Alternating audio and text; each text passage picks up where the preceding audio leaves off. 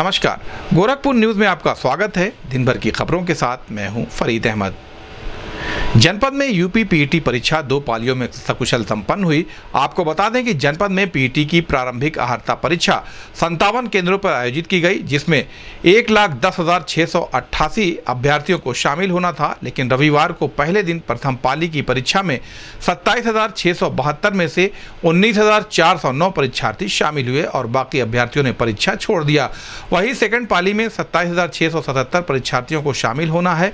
वहीं सुरक्षा के दृष्टिगत बीस सेक्टर मजिस्ट्रेट की ड्यूटी प्रशासन द्वारा लगाई गई है। इसके अलावा तिरसठ स्टैटिक मजिस्ट्रेट की ड्यूटी लगाई गई है जो कि भ्रमणशील रहकर सभी परीक्षा केंद्रों की निगरानी कर रहे हैं। वहीं मीडिया से बात करते हुए परीक्षा देकर निकल रहे अभ्यर्थियों ने कहा कि पेपर पिछले साल की तुलना में काफ़ी कठिन आया है। करंट अफेयर ही ठीक था वहीं कुछ ने कहा कि पेपर बहुत अच्छा हुआ है। इस संबंध में गोरखपुर न्यूज़ से बात करते हुए पीईटी परीक्षा देने आए अभ्यर्थियों ने कहा। एग्ज़ाम था कैसा रहा? अरे बहुत हार्ड था इससे पहले भी आपने दिया कभी? नहीं पहला टाइम था। क्या लग रहा है आज ठीक ही था जिस रिकॉर्डिंग में पहले ही आई थी। क्वेश्चन वगैरह किस तरह का क्वेश्चन तो ऐसे थे पीसीएस प्रीलिम्स के लेवल में थे। कहाँ से आई हैं? अंबेडकर नगर से।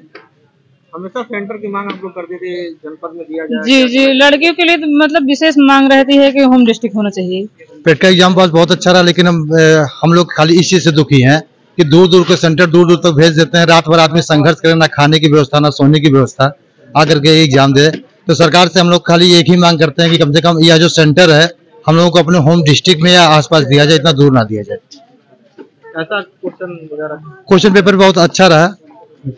संतोषजनक था कि बहुत ज़्यादा कठिन नहीं था कि आराम से आदमी सॉल्व कर सके। क्या नाम है उसका? अमित मिश्रा सिद्धार्थ नगर। जी मैं एवरेज था मॉडरेट था और उसका जीएस मॉडरेट मतलब ठीक ठाक था करंट लेकिन हार्ड था और रीजनिंग भी ठीक था और रही बात हिंदी हिंदी का गद्यांश पद्यांश वो भी कोई बढ़िया था। पिछले साल की तुलना इस बार कितना अंतर है?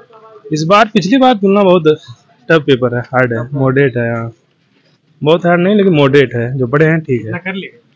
अस्सी क्वेश्चन किए हैं अटेम्प्ट किए। जी। लग रहा है आज देखे अच्छा है ठीक है। सत्तर प्लस हाँ सत्तर उनहत्तर पैंसठ तक ठीक। अच्छा जो बच्चे अभी तैयारी कर रहे हैं कहते हैं उनको क्या नहीं। यही कहना चाहते हैं कि जो आने वाले समय मतलब लेवल बढ़ रहा है बहुत। अब पहले के अपेक्षा बहुत बढ़ चुका है लेवल। जी। कहाँ अयोध्या से। ऐसा लग रहा है कि जैसे यूपीएससी का एग्ज़ाम ले रहे हैं। इतना टफ पेपर था कि बताइए नहीं बहुत ज़्यादा टफ था। पहले भी आपने दिया हाँ? इससे पहले हम दो बार दिए हैं। एक बार लगभग सत्तर तक गया था उसके बाद फिर इस बार लगता है कि पचास से भी कम आएगा।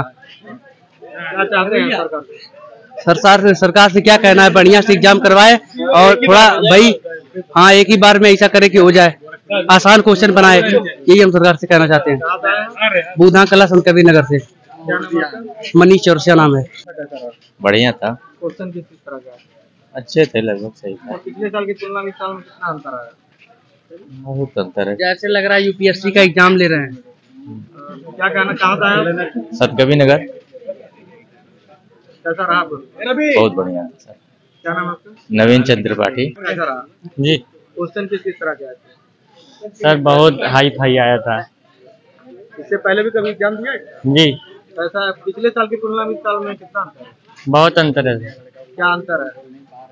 सर बहुत हाई हाई लेवल का क्वेश्चन उस उठाया था। अच्छा एक सेंटर बनाने की हमेशा मांग की जाती थी ज़िले में उसको लेकर क्या कहेंगे क्या? सेंटर बनाने की एग्ज़ाम सेंटर दूर दूर पर है। अब सर क्या किया जाए जब बना दे रहे हैं तो आना ही पड़ रहा है।